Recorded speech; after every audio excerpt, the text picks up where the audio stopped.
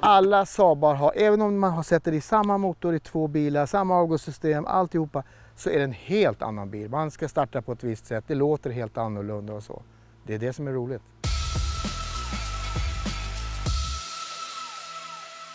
Hallå, hallå! Hallå igen Douglas! Nu, nu börjar det bli lite för ofta kanske här va? Nej då, jätteroligt. Jättekul att se dig. Ja, sist jag var här så tittade vi på en Scooby-Doo-van Precis. och så min drömbil. Gremlin-trollet ja. Jajamän, Ja, sån vill jag ha. Även för att vi har ju bara spelat in jänkare när jag var här, men du är ju en Saab-kille egentligen. ja, jag, är- jag, precis. Jag är en Saab-kille, precis. Det var, det var tur att du kom för att jag var tvungen att försöka springa runt med ett batteri och, och starta mina Saabar liksom. Så att det är ju, eh, man är ju någonstans eh, fast i Saab, Mm, tvåtaktare. precis. Jag tänkte vi skulle gå runt och titta på dem idag. Ja, vad kul, vad roligt. Ja, jag har inte tid att åka runt och åka i det här, men vi kan gå runt och titta vad det är för någonting och lyssna lite grann. Ja, jag vet ja. att du håller på att experimentera. Experimentera med ljud och blårök och, och rökringar och allt vad, vad, man kan få ut av en Saab tvåtaktare. Mm. Ska vi börja titta på den här då? Det kan vi göra. 95 En 95 jättesvår att få tag i. Den här är klart, den här stod ute i skogen. Mm. Den var helt täckt med mossa. Jag visste om den. En kompis som köpte den, jag köpte en annan bil från samma ägor som stod utkörd i, i skogen också. Så sa jag till honom så här att den dagen du ska sälja eh, skogsbilen då så hör av dig. Och det gjorde han faktiskt det. Och nu har jag kört ganska mycket med den och därav så är det inte så mycket mossa kvar. Väcker eh, tankar var den än kommer. Den har faktiskt vunnit något första pris också här och där. Eh, otroligt rolig bil. Sen ser vi ju då att det som är kvar här, jag har inte velat röra rutorna. Bilbesiktningen, då var man tvungen att eh, tvätta framruta, sidorutorna vid passager eller vid eh, fram. Då, då. De andra kunde man låta vara och bakrutan. Annars så var den helt igengrodd och det var en centimeter mossa på hela bilen. Jätteballt. Men det är klart, åker man och eh, så försvinner ju mossan i regnet och sådär. Men det här är en bil som man vågar eh, ställa var som helst. Eh, det kan jag köra ut i, i skogen här, det blir bara bättre för bilen.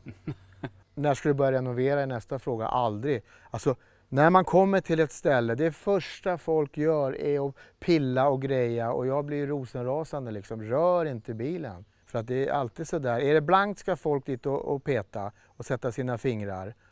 Är, det någonting som liksom är annorlunda ska man dit och, och peta. Så att det, är, det är samma sak här, man får låta någon annan köpa glassen, då får man stå och passa bilen. Jag ska försöka komma ifrån det där. Jag ska antingen sluta äta glass eller så ha en bil som inte folk petar på. De har stått ganska bra för att det är lagat lite grann i golvet i fram men annars är han ju liksom helt, helt orörd alltihopa. Så. Han klarar ju besiktningen med glans. De har väl något speciellt i marken där uppe. Jag vet flera bilar som bibehålls ganska bra. Snyggaste instrumenteringen då, nu är den här, ja, jag gillar ju när det är lite patinerat, men ju- just metarna då, då ändrades 64. 63 och, och bakåt så hade de ett annat kluster, det är också fint, men nej, det här metarna var ganska snygga faktiskt. Vitt skulle ju ha rött och på 95an så är, det ju, är ju det här plast och sätena är ju i tyg. Eh, på, på sedanen så var det, var det mera åt eh, tyghållet här då. Så att det, det skiljer sig lite grann. De här var ju besiktade för eh, sju stycken. När jag var liten så åkte jag faktiskt sån här. Och då kallar man det för spyfällan för man åkte baklänges. Det var väldigt lätt att, att må illa då. gjorde man ifrån sig på golvet här nu då. Så det finns ju som ett, ett, ett litet eh, ryggstöd här också så sitter man så. Men är det här din sommarbrukis då? Eller? Det är min sommar, absolut. Startar i alla väder och även i vintras skulle jag flytta och jag hade den ute i vintras för jag tänker, ja men det, det, det är faktiskt så här. Det är bättre att ha en, en mossbil ute än att ha den inne i värmen. För att eh, någonstans så är, frodas ju mossan och alltihopa. Det var ju min, min tanke då. Ställer man in den i värmen och, och, och alltihopa så blir det ju liksom, då dödar man ju den. Polisen hade ju en sån här också. Står väl på polismuseet. Den var så här nära, åtta nummer ifrån, från att bli en långnos. Långnosarna kom ju eh, 65 så han stod och darrade på, på bandet och ville väl liksom ha kvar sin identitet och inte bli en långnos. Man kanske ska starta den. Ja, Det är det som är halva grejen. Kombi och så det här, titta. En tvådörrars kombi. Alla vill ju liksom ha eh, amerikanska bilar, det är inte så lätt att hitta, som är bara två dörrar fast det är en kombi. Saab var ju naturligt, det var ju från början. Tvådörrars kombi. Nu ska vi se om den startar.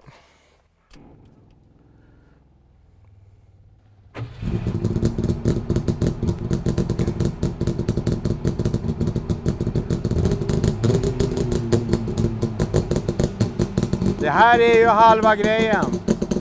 Ljudet, lukten, röken. Olja i bensinen. Ju mer olja, desto mer rök. Så kan man ju blanda resinolja lite grann, då får man ännu godare lukt. Driftsäkerheten är ju att det är en nyrenoverad motor. Nyrenoverad generator. Generator och vattenpump är samma sak här. Vattnet går in i bakre delen och sen genererar det ström. ja det är bra ljud. Ja, det är underbart ljud. Och helt, helt lagom alltså. Man tycker att det låter lite grann här nu men när man sitter och kör, nej det är okej. Helt, jag tänkte i början när det gick sidepipes ut nu kommer det låta. Nej, det gör inte det. Och här sitter konan som rallybilarna har. Men det, det hörs nästan ingenting. Jag ska starta en bil sen som är lite annorlunda. En hemtillverkad kona, hur det kan låta då. Ja, nu flyttar vi oss ner några meter från 95an här så att eh, ja, varför vart det så egentligen? Nej, men jag är uppfödd, mina föräldrar hade Saab, jag är uppfödd i en eh, eh tvåtaktare, jag är född 63 då, så att det, det var ju, pappa hade en 63 och sen hade han och sen tog morsan vid när hon fick körkort och då var det lite modernare då, 90 och 99 och så. så att Saab har jag alltid legat här och sen är det förbaskat roligt. Det som jag sa, det är ljudet, röken, lukten och lätt att mecka. Och finns faktiskt fortfarande rätt mycket delar. Den här 66an är ju en, eh, det ser ju ut som en, egentligen en gubbil när alla originalgrejerna är. Farbrorn som hade den var ju rallyförare så han har ju faktiskt fått till motor och avgassystem jättebra. Det här är bland de bättre bilarna som jag har. Startar jämt, inga problem, lite tjåk, går klockrent. Sen har jag då satt på andra Ronald-fälgar som är lite ovanliga, satt på jubileumsmodellen då. Jo.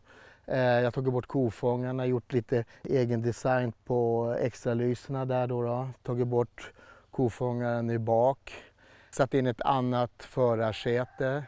Lite enkla saker. Det, det, alltså det är gjort på några timmar och, och göra en original igen. Men det här var ju det som var roligt med Saab. För att alla ko- kommer ju ihåg, alla känner ju till Saab någonstans ifrån.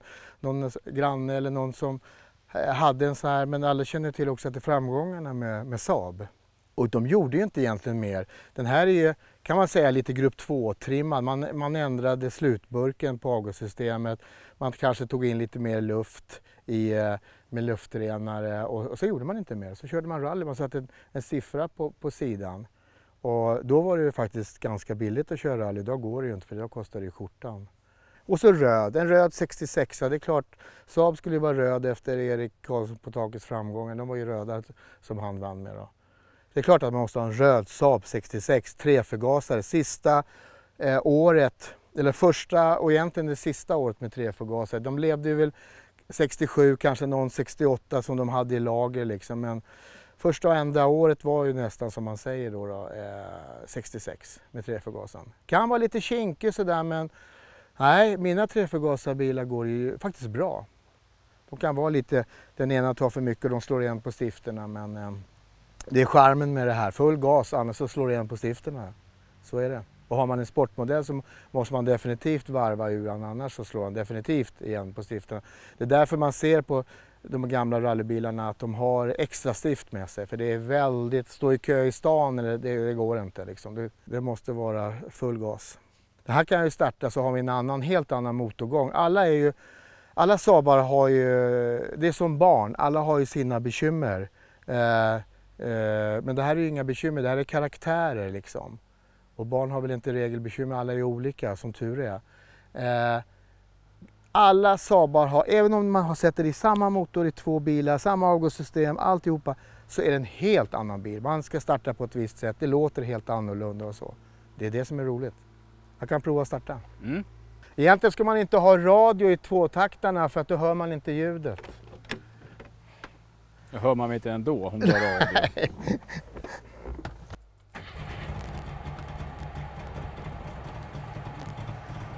Hade inte startat innan du filmar. Jag hade ingen chock. 95 var jag tvungen att ha lite grann chock på, men den här gick igång direkt. Och man hör på avgasljudet här att dämparen i bak är lite annorlunda än, äh, än originalet då. Men det är lika mycket rök. Låter lite snällare den här. Ja, mycket snällare. Men äh, då frågar jag, hur fort kan du åka med den här? 110 kan ligga i. 100-110 alldeles utmärkt. Du har för mycket olja säger en del människor, men bättre lite mer olja än inte alls. Liksom. Det är avvägning hela, hela tiden. Man hör ju hur fint den går. Här, här ser man ju att jag åker med på vintern. Nej då, utan eh, det här är förvärmningen. Bilen har ju nyss tagits ut så, så den ska ju bort liksom. Är det varmt ute så behöver man ingen förvärmning. Och ni märkte nu själva hur lätt han var att starta. Du vill bara röra på nyckeln. Ser ut som en liten rallybil men går jätte, jättesnällt.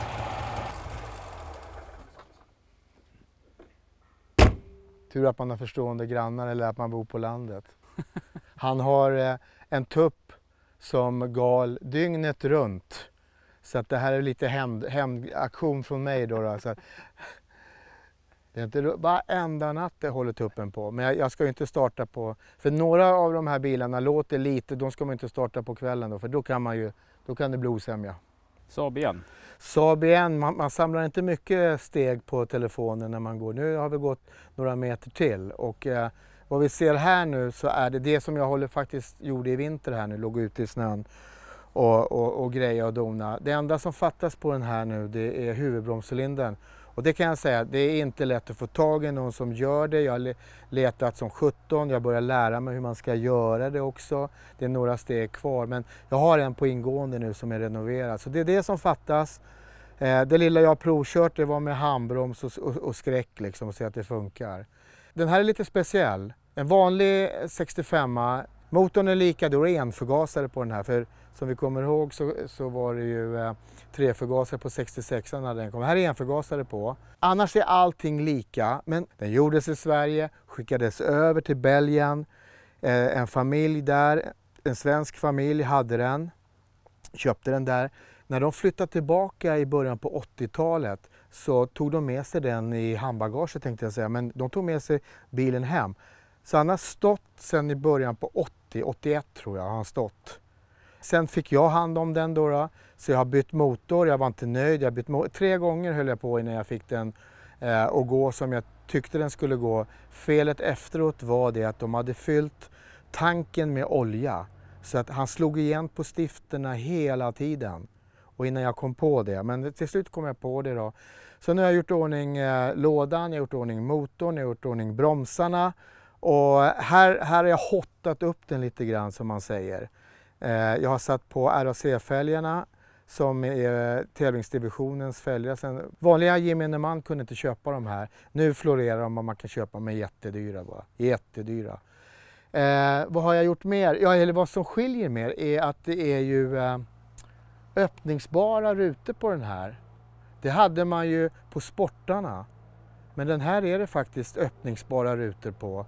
Eh, vanlig standardbilen. Det som skiljer mer är bara att de hade en, en backspegel, den andra finns inte. Det, eh, passagerarbackspegeln finns inte. Man var tvungen att ha backlyse i Belgien. Här ser vi det belgiska märket. Då. Sen är det varningsblinkers på den här. Det är det inte på 65an. Långnos, det här är också en långnos. Långnosen i Sverige. Så det var lite sådana här avsteg som var lite roliga faktiskt. De har varit och stött och blött överallt i den. Så det är lite reper, men det, det är min patinering. Då vågar jag ju liksom åka med grejerna. Provade att sätta in Sonettens stolar. Fantastiskt bra. Jag som är kort. För första gången så ser man över ratten liksom. Och man sitter jättebra. Och sen är han ju midnattsblå. Midnattsblå tycker jag är en av de snyggaste färgerna. Det som skiljer också är eh, att det är orangea blinkers på de utländska bilarna. Men det är kul att den, den kommer inte från Amerika, den kommer från Belgien. och svenskar som har hållit i den hela tiden. Väldigt roligt projekt att, att, att få liv i. Lite bök med motorn där, annars så fungerar det jättebra. Här kanske vi ska göra en provstart också. Mm. Nu ska vi se, nu är det en enförgasare, ni kommer ihåg den andra startade jättelätt. Treförgasare, det brukar vara tvärtom. Jag har inte provstartat innan, jag har bara burit batterier här. Lite tjåk.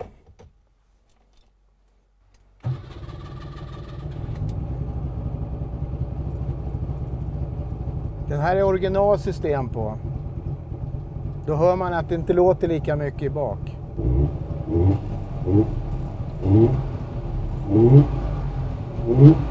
Det jag har gjort här är att jag har eh, experimenterat lite med luftburken. Så att man hör det här insugsljudet som jag tycker är häftigt. Och blårök hoppas jag. Ah, inte så mycket, då har jag lagom olja i.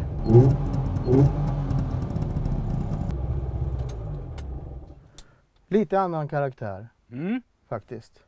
Lite åt eh, gubbe men eh, insugsljudet gör att ja, kanske lite trimmat. Ja, jag har tagit bort luftfiltret. och satt ett annat filter istället. Så att eh, ja, så är det. Enförgasare, lång nos. Ja, är jätterolig. Bara jag får huvudbromscylindern så jag kan ut och, och sladda lite. Det är det som är roligt också. Alltså, en högblank fin bil vågar man inte sladda. Jag har ju mycket grusvägar runt om här. Man bor ju på landet som sagt var. Så att det, man vill ut och sladda faktiskt. Och då är det väl be, eh, kunna ha en bil som man kan bara damma av efteråt. Liksom inte behöva vara så jätterädd för lacken. Jaha, en lång nos till? En lång nos till och sen har vi gått några steg till. Det blir inte många steg idag. Eh, det är lite backe ner för att backa upp för sen. Nej men alltså, de vi har tittat på tidigare, det var ju liksom man hade tanken att eh, Ja, det finns ju faktiskt Monte Carlo, Saab Sport 65 och så Monte Carlo då, då 66. Och, ja, man har ju byggt och tycker och tänker och all... så vips så kunde man faktiskt skaffa sig en. en. Eh, och då säger ju alla att den ska vara röd, för Erik Karlsson på taket och alltihop. Nej, malmgrå tycker jag är snyggare än röd. Gör sig bra med, med svarta fälgar. Det här är ju en, eh, en långnos och de skiljer sig ganska mycket mot eh, den röda 66 som vi tittade på. Eh, jag vet inte hur många punkter. Det är ju fyrbultat och det är ju, det är ju kromlister, det är en helt annan inredning, helt annan ratt, helt annan växellåda. Absolut en helt annan motor. Här har vi öppningsbara rutorna igen som vi hade på 65an som var standard då, där på den, vanlig. Men eh, eh, här måste man gå till, eh, till Monte Carlo för att eh, hitta den. De här kördes ju som eh, rallybilar. Så jag har eh, plockat lite grann med motorn och eh, avgasseriet och alltihopa. Så när tuppen gal här, jag ska starta den här sen, när, när tuppen gal då, då är det lagom för mig att, att starta den här Monte Carlo. Eh, treförgasare, fast förgaseriet är helt annorlunda på på en, en eh, standardmodell och en sportmodell.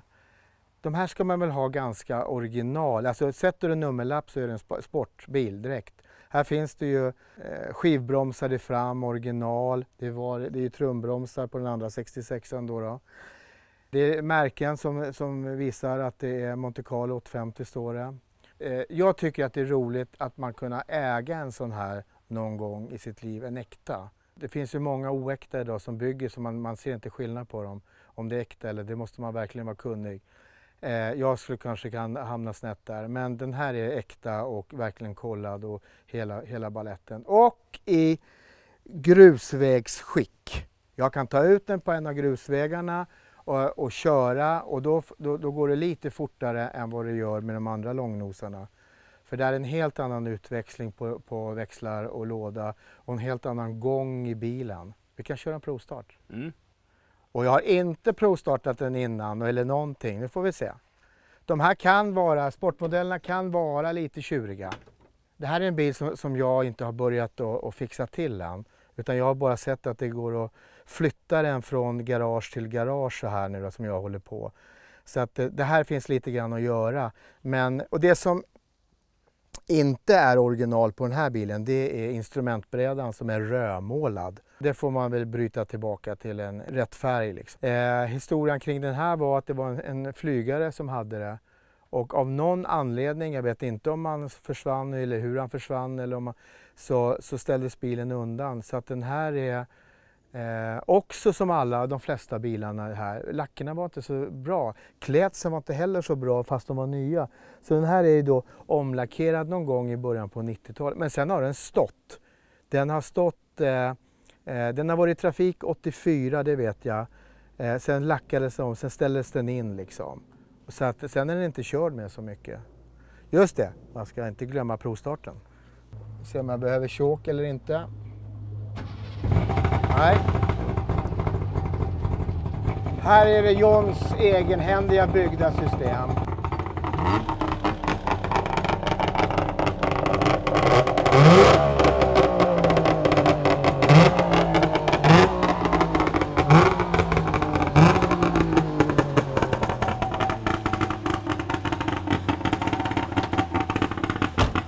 Nu låter det som det ska göra.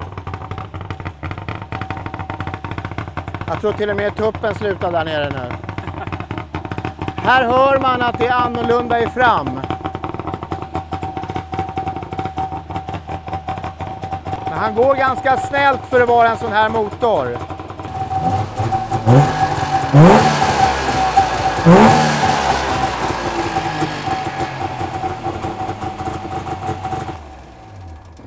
Ja, blir man inte religiös för mindre så blir man inte.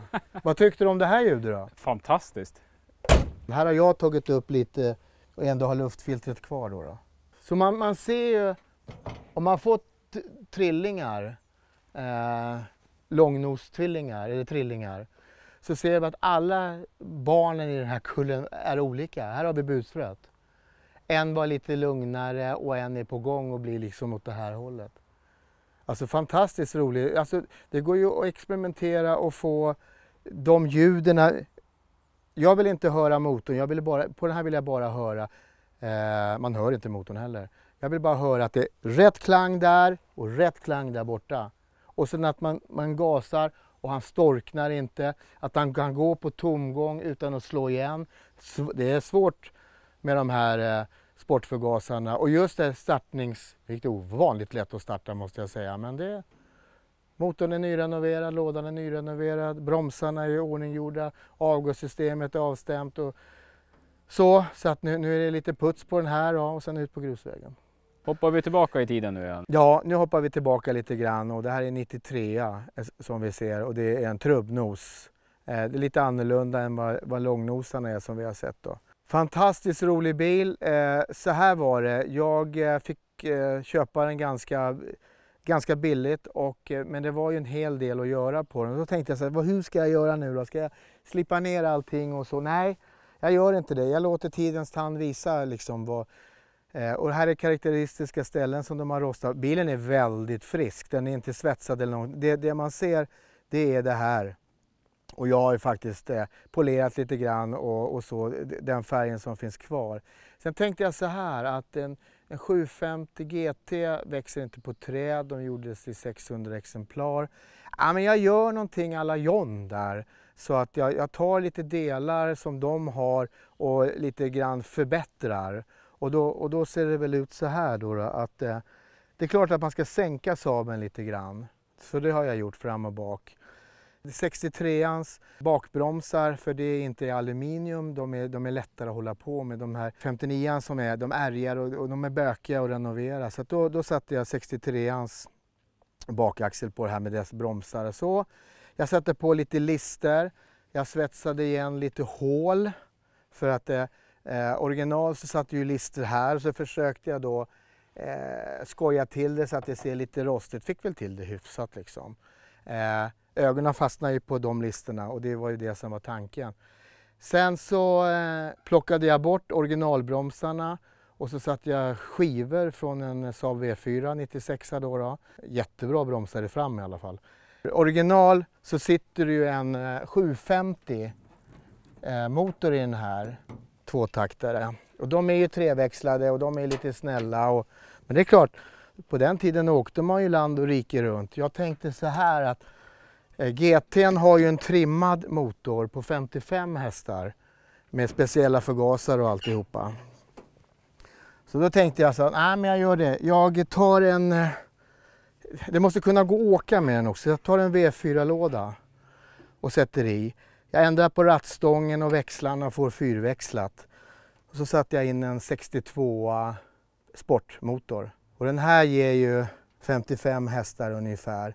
Och så har jag en rätt utväxling och så har jag gjort ett avgassystem som, eh, som jag tycker är, ja, det är helt annorlunda mot de andra. Men här låter det lite grann också. Det måste det göra. Motorn går fantastiskt bra. Jag har kört men jag har inte rört sportmotorn. Eh, jag ställde in den, satte dit den 2014, sen har jag kört med den. Och här har jag faktiskt kört med den. Här har jag testat både grusvägar och nästan varit av vägen och alltihop. Han går som ett skållat troll. Har inte haft något problem med vare sig det flödar över eller svårstartad eller någonting. Nu får vi se. Jag har inte heller startat. Jag har bara eh, satt i ett batteri nu då. Så vi ska se att den går. Eh, allting funkar.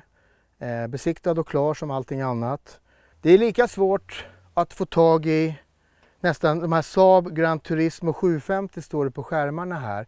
Få tag i märket som att få tag i en riktig bil. En riktig bil, Grand Turismo 750 GT, kostar ju från 500 000 uppåt. Så det här var ju ett billighetsalternativ. Och roligare, för här kan du faktiskt stå och luta dig mot bilen och, och gå och köpa glassen för egen del och, och folk går bara faktiskt och, och titta på det här nu då. Jag har byggt den som en liten rallybil. Jag har satt burbåge i den. Nu har jag bara ett säte i den så det, det blir lite svårt att, att, ha dig i bakluckan här någonting. Det blir inte så roligt. Så att, eh, det är samma sak här. Vi, vi får ta en, en åksession sen. Jag har faktiskt fått tag i en äkta stol som har stått på en vind över 50 år. Farbrorn där dog och dödsbo hela faderullan. Jag kom i kontakt med en kille. Den är nästan ingenting använd. Han körde rally. Och det är en äkta stol som satt i Erik Karlsson på takets bil också. Så den ska in här och då ska den här flyttas över till eh, passagerarsidan. Då, då. Fantastiskt rolig bil. Ska vi provstarta? Ja. Stänger vi här. Jag jobbar så här så att det inte fladdrar så mycket. Så. Ja just det, nu tänkte jag öppna dörren häråt. Nu har det varit för mycket åt andra hållet. Här sitter dörrarna. De som inte vet säger att det är måsvingedörrar på den här. Men det är det inte. Oj oj oj. Här behövdes ingen tjåk heller. Här.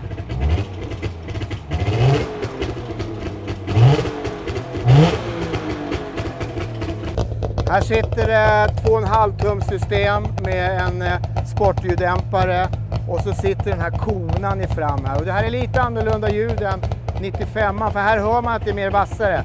Det är klart som 17, hästantalet är ju 20 hästar mer än vad det var i 95 Jämnt och bra på tomgången för att vara en sport.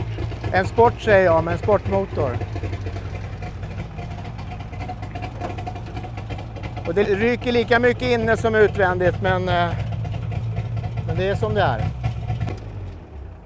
Och här är det ingen nyckel, alltså man sätter bara på, på tändningen eh, och sen drar man i, i, starten. Det är dragstart på den här. Och frihjul, det rullar lika bra som det med rätt varvtal och alltihopa så växlar det utan att koppla. Så det var därför Saab var ju eh, segrare genom loppen. De vänsterbromsade och full gas. Man behövde aldrig hålla på och koppla eller någonting som tog tid. Nej, så här ska ju en Saab se ut egentligen. Det här är 59, sista året med bakvända dörrar. 60 kom ju, allting, var ju, allting var ju lika. Men dörrhandtaget satt här då och sen vart det större vindruta och, som det är på långnosarna och sådär. Ja, då har vi kommit upp för backen igen nu då. Mm. Det, det har blivit lite steg trots allt. Som jag sa med GT där 750 kommer man ju aldrig någonsin att kunna köpa det. Och det är lika svårt med sportarna också. Lyckades faktiskt komma över en sport och inte vilken sport som helst utan eh, Karlsson på taket, det vet ju alla vem det är. Han körde ju, gjorde ju Sverige känt på kartan med sina rallyframgångar. Han hade också en kartläsare som hette Gunnar Palm. Mm. De kamperade ihop eh, många år.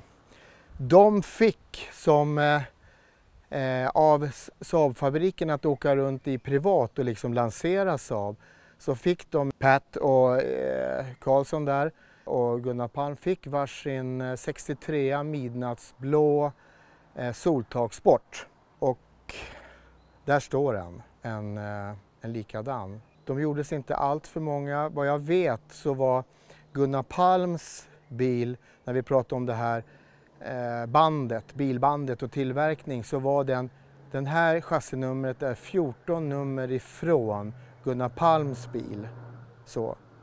Eh, och det är ju roligt. Och jag är född 63 och, och jag, min, min färg är ju blå. Så att eh, komma över en soltakssport, komma över en sport är svårt.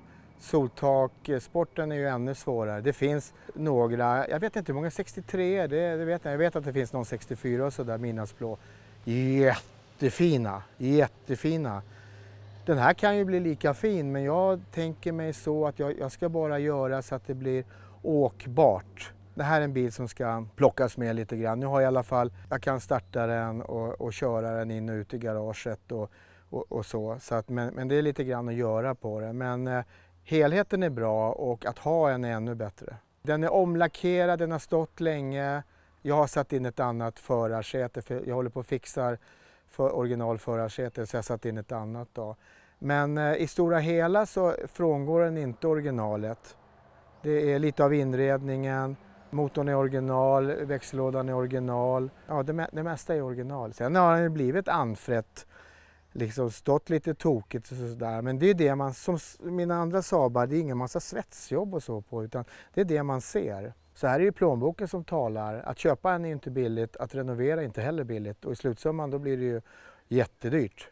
Så att, eh, nej men det här är också nog förmodligen en keeper om det, om det inte är någon annan som, som eh, säger något annat. Men, eh, men, men just nu så är det faktiskt en keeper.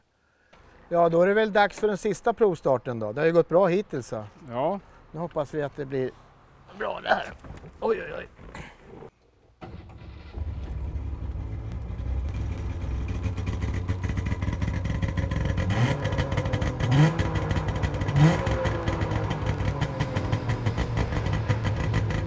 Och det här är originalsystem, sportsystem. Jag har lite varv på den nu med flit bara för att motorn är renoverad. Så jag vill liksom att det ska... Men han går för jättefint.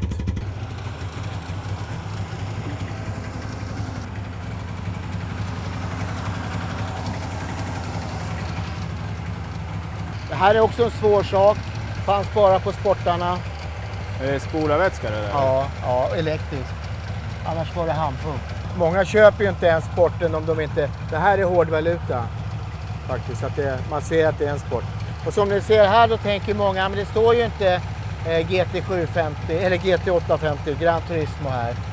Men man, man, eh, man fick märkena i en påse. De skulle sättas... Handlaren skulle borra hål här, sätta dit dem. Det gjordes aldrig på den här och då säger många, men nej, det är ju ingen riktig. Jodå, det är en riktig. Det gick lite snällt va? Mm. Men det här, är liksom, det här kan man ju sätta sig och åka ner en, en längre resa. Den andra, de andra är ju lite mer kaféresor. Det finns lite grann att göra men man måste ha någonting att göra också hela tiden. Ja, det vart lite, lite grann ändå. Då. Nej men alltså det, det, är inte slut med Saab för det här utan det, det, är liksom det, det kanske finns en, eh, någonting eh, riktigt kul i gubben i lådan men eh, eh jag måste börja med med saker här hemma och, och, nu har jag inte alla de här hemma heller utan de är lite utplacerade, man har inte stort garage. Som är, ja, stort garage har jag ju. Ja, det, det, är väldigt, det är underbar himmel men man kan inte ha all underbar himmel, det går ju inte. Ja, nej men det här var väl roligt. Jag tänkte jag skulle komma tillbaka här någon gång i framtiden så mm. ska vi ta och köra lite längre än grindstolparna kanske. Absolut, och då kan man ju, då kan man ju prova faktiskt och se karaktären på en hyfsat original bil och en som definitivt inte är original i motor. Mm. Så. Så att, äh, ja, nej men det, det gör vi. Det, det vart lite det varit lite mycket idag och tiden har ju sprungit. Vi har ju varit hållit på jättelänge nu. Då, så ja, folk förstår inte. Vi håller på snart sex timmar. Sex timmar ja. alltså och, och sen klipper du till det här till en halvtimme. Typ. Typ ja. Mm. Ja, det är roligt. Bra jobb. Bra jobb. Ja, du, då får vi säga på återseende. Ha det bra. Tack ja. så mycket. Alltid trevligt att ses. Ja. Så hörs vi. Ha det bra. Ja. Hej då. Hej då.